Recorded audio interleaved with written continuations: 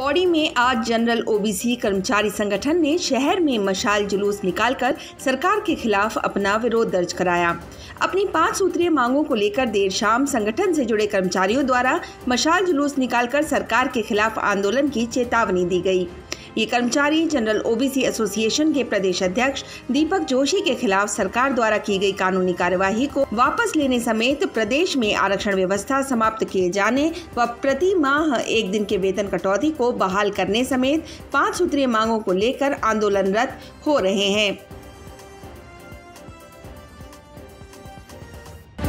उत्तराखंड की तमाम